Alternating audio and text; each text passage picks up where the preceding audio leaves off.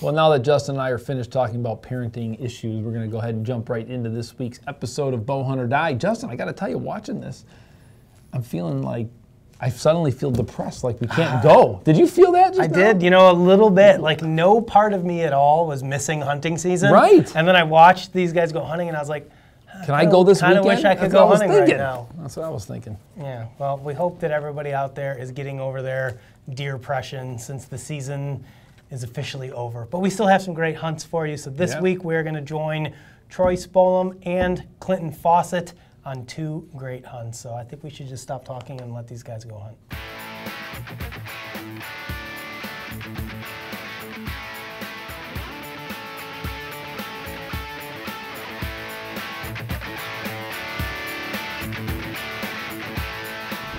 Well, it is uh, noon, just after noon, Saturday. I don't know what is today. December something.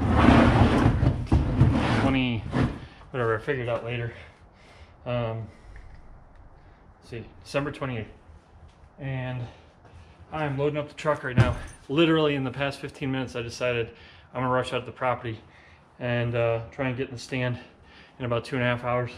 But I'm packing up my kids too, and my wife. She's um, being a saint and allowing me to drag everybody out to the hunting property for tonight and come back tomorrow morning, just so maybe I can kill a doe. Wind was bad for the Huntley property. I've been really trying to get out. I haven't been out for weeks, you know, actually since I shot my buck. Um, but because I want to spend time with family, and uh, she's right there. I don't know. He's, he didn't come outside. And now we're scrambling, trying to pack all the kids up, do everything. This is what I do for hunting. This is how tolerant my wife is for what I do with hunting. So we're gonna get packed up, get on the road. Two hour, two hour and 15 minute drive. And I'm gonna, I'm already washed up, all my stuff, and we're gonna just run right into one of the redneck blinds and I'm gonna hunt with my dad. Should be fun. Here we go, bow hunt or die. What's Daddy gonna go hunt for? A deer. A deer. Yeah, buddy. A cow. A cow.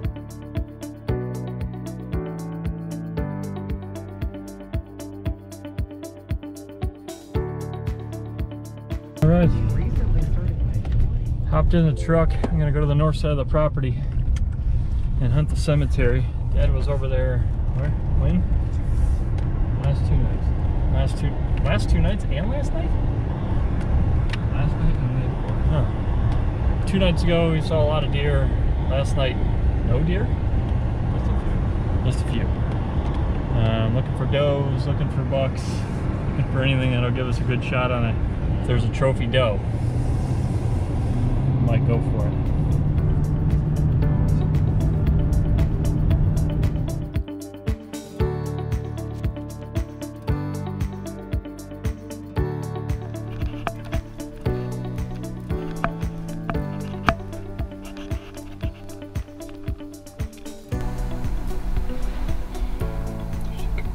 Father son duo out uh, doe hunting, buck hunting, turkey hunting, coyote hunting, whatever wants to come out.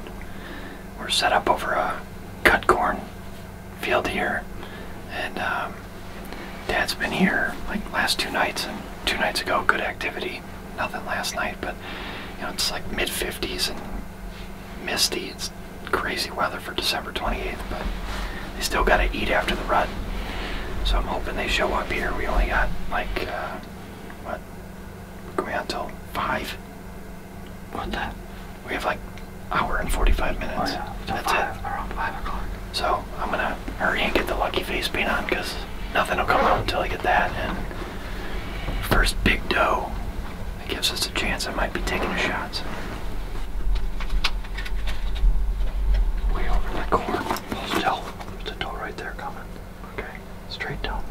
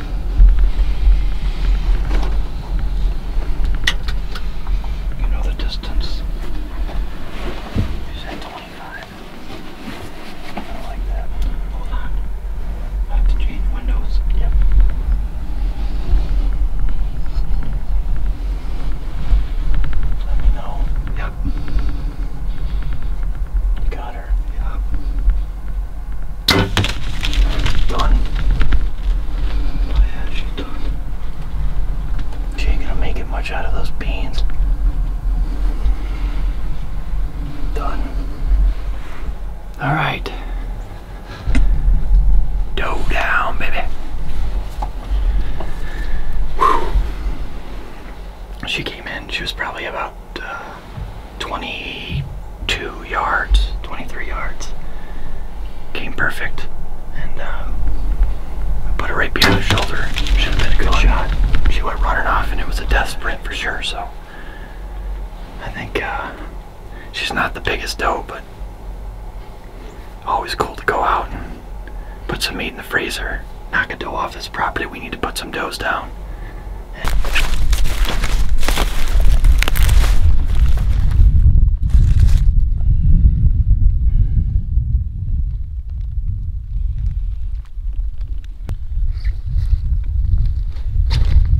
Corn same arrows I shot uh, my buck with a few weeks ago. I don't normally reuse arrows, but why not when they're working? Put a new Spitfire Triple X on them, and uh, that looks to me like a dead doe. That? Yeah, there. Hold on, I can get it. That? Where else do you see it? Yep. Oh yeah, right there. Yeah. Check all this out. Yeah, she's leading up a storm now. Oh yeah. Look at that. Oh yeah.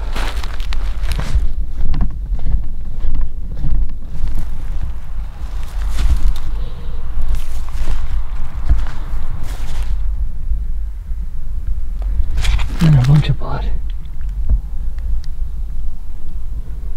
All over here. Still found tons of blood. I mean, she's just. There she is. Jeez. All right, December 28th, and here uh, I got a doe down with my dad. Man, she ran 150 yards, Well, gushing, More, easy. more than that. You think I- so? We got to be 200 yards. 200 yards, and of course down a hill into the valley. But I mean, the shot is right behind the shoulder.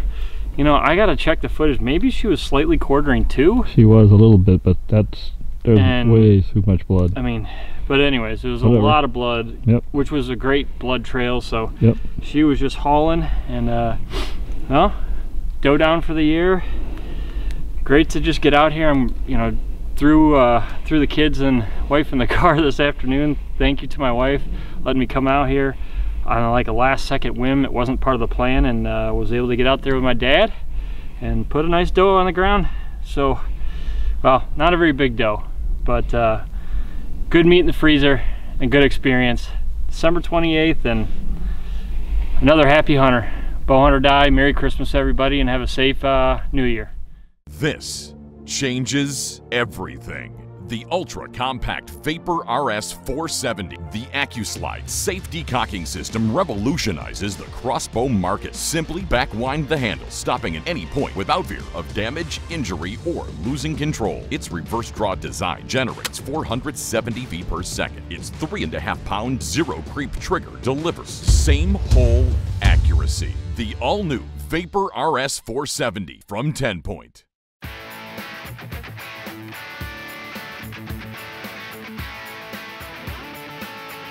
We are headed into the blind. Uh, I don't know what day it is. It's the day after Franki killed his big buck last night. So 18th, Frank says. The 18th.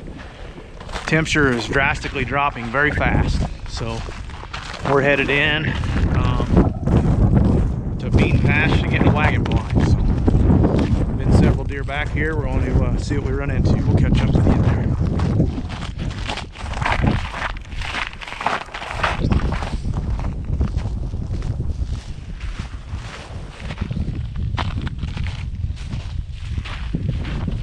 warming up down there.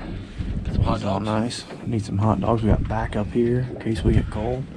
I got mine rolling here. Been messing around the last like half hour trying to get the blind cleaned up and heaters working and windows moved around. The wind's blowing pretty hard, probably 20. It's actually laying a little bit. Probably let's say 15 right now, gusting 25. So anyway, we're hunting over a bean patch. You can see it out there. Got a patch of standing beans.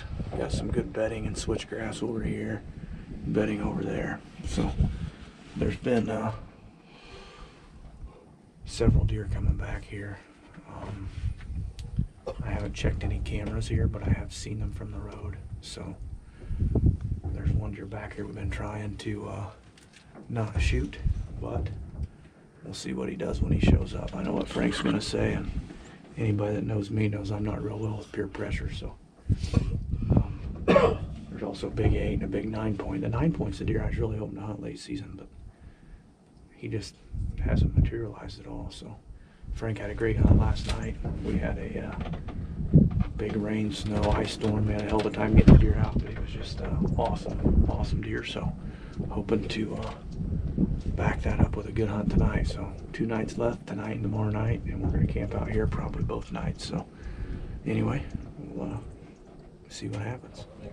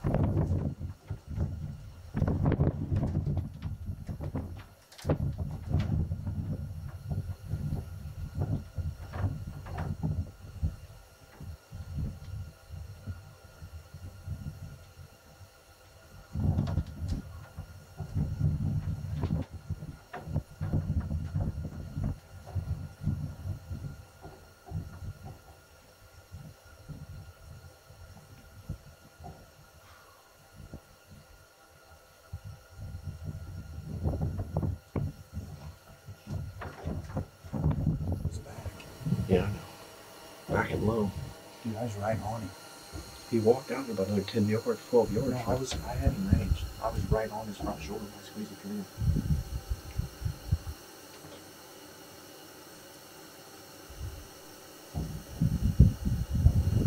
Oh, there he is.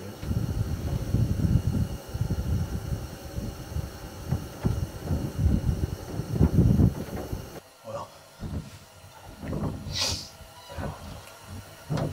that was the deer we knew was up here. Come right here out of the switchgrass. Frank had a hell of a time getting the camera on him with the angle the blind is. But I had him right here, 20 yards. I was trying to get it figured out. And he walked on out there a bit, and Frank got the camera back on him good, and we got him stopped. But he was quartering away, and the shot was back. It looked like. I don't know what happened. I was right on him when I squeezed it off.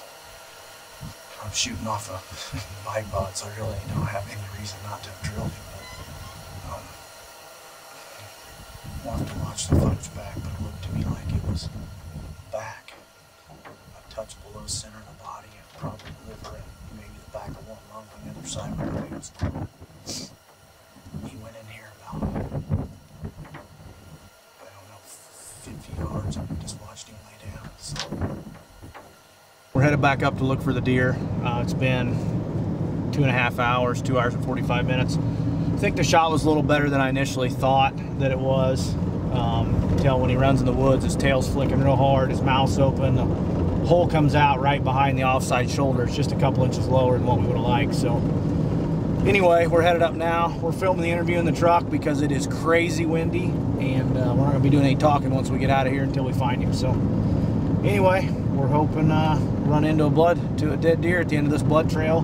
We seen him lay down right in there where it was at. It was three minutes and 40 seconds on the camera after I shot him um, until he laid down. So we're thinking liver, one lung, maybe both lungs, and uh, we're gonna slide right there where we last saw him and see what it looks like, and hopefully he's laying there dead. So here we go. Okay, guys. Well, we got out of the truck, slid up here. He's uh, laying right in there dead about, well, right where we last saw him. He didn't go anywhere. It's just hard to tell on those quartering away shots, and I you could tell by my interview after I shot him. I just just didn't didn't feel right. I knew it was low, but that crossbow shoots so fast that it just punk and it's there. And it's just a new experience. So anyway, a lot of blood, a lot of blood right here. Let's go check him out.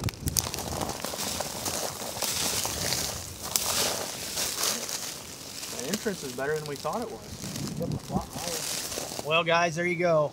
Um, I don't even know what to say about this season. We've had had a very enjoyable deer season this year.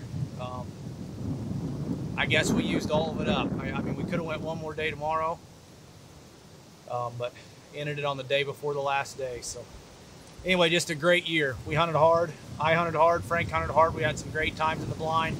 We had a lot of fun. Probably my uh, most fun season I've had. We, we hunted together less this year, being so busy with, with football and work and school and everything that everybody's got going on. But when we did get to go, we had a blast. And, and you know, that's the important thing. Last week when we were at the ATA show, I, I got a stepping on a meeting that was uh, ran by the Hunting Public and Nine Finger Chronicles and, and those guys, and was talking about, you know, getting the fun back into hunting and and uh, not taking the fun out always by trying to kill the biggest deer, the score, and everything. And that's something I always have a problem with myself. You know, I always want to kill the biggest deer I can find. Partially, probably because of social social media, and I don't realize it. Part, partially because I always want to beat Frank at everything.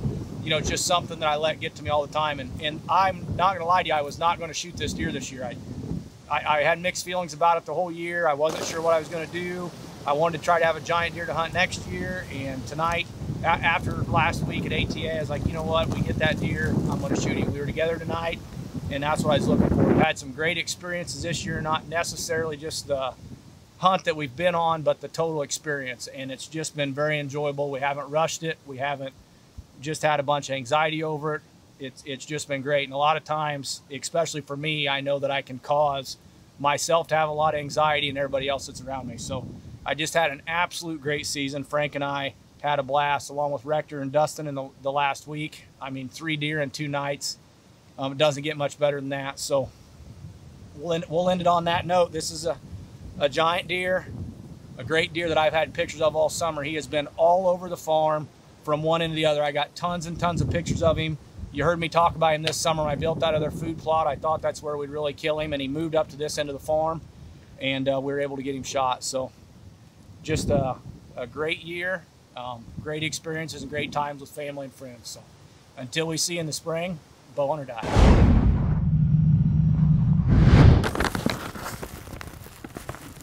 Why do you have a mask on? You've already got it. dude, It's not going to help you now. I don't want to don't want to spread to you. I'm being nice to these guys. Oh, that's a good point. That's a good point. Man, what you don't ever think about that? You get on the airplane, the guy next to you is wearing the mask. You're sitting there thinking like there should be different color masks. Like I have something mask, or I'm just protecting myself mask. I'm protecting myself from you since you have been exposed to the coronavirus. I'm just saying, don't you think my mask idea is a good idea? Because I mean, you're sitting next to somebody on the airplane, you're like, dude, like, should I be worried sitting next to you, or are you just trying to be like protecting yourself? That's all kind of. I think most of the time they're protecting themselves. Well, that's the whole point. You don't know. I think there's different colored masks. If someone takes my idea, then I'm gonna use this. Yeah, but now if the person's wearing the mask and they're the sick person, I don't right? want to sit by that guy. Well, what's your option? What are you gonna do? I don't know. Get a different. You sit by sick people all the time. There's like, what are you gonna then do? I just would, then I guess I would rather not know. But when they got the mask on and you don't know, you're like, oh, geez. Well, it's because they don't want to get sick. Maybe they have like a compromised immune system. I agree, but that's fine. But if that, that if that mask was yellow, then I'm like, okay, cool. He's got a compromised thing. Then you would okay. treat them differently. Just saying. I'm just saying. Nobody wants I to be treated worried. differently. Okay, let's roll. Nobody wants to be treated differently. Well, That's all I'm saying now your is paper's all screwed up, too. Troy was successful, shot a doe. Unfortunately, I still am. feeling- Still? being Oh. depressed Oh. about not. Just I'm dumb. I'm a dumb hunter. I need to shoot more deer. That's what I need to do.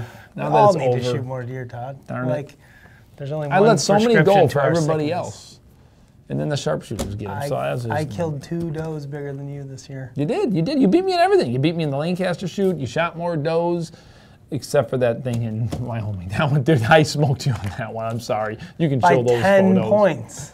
10 points, 10 inches. No, That's it. The score doesn't matter. We it's all about the view and the look. That's all I'm saying. Plus, mine wasn't a one half year old. You get you get more points when who?